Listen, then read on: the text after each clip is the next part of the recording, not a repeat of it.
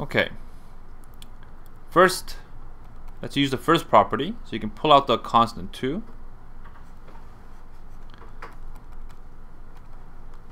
Okay. Now doesn't that, what I'm doing right now, doesn't it look very similar to the property of integrals? Yeah, so it's actually backwards. Integrals have those properties because sigma has these properties. Yeah.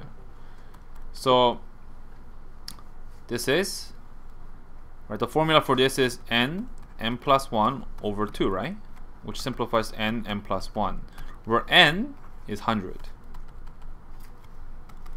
so it's 100 times by 101 so it's 101 two zeros.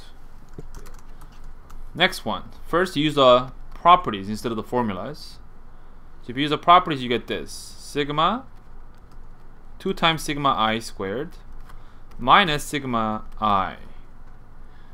So you gotta make it look like so that it's completely isolated so you can use the formula.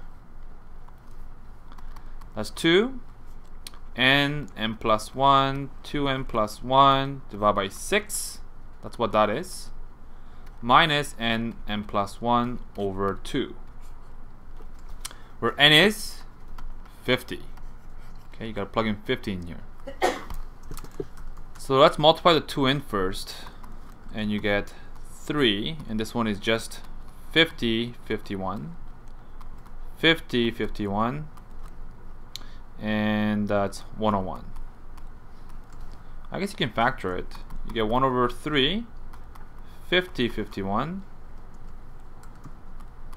and we get 101 minus 3 let's do some reducing. So yeah it's 50 times by 17 times by 98 so that's what you get if you punch in the calculator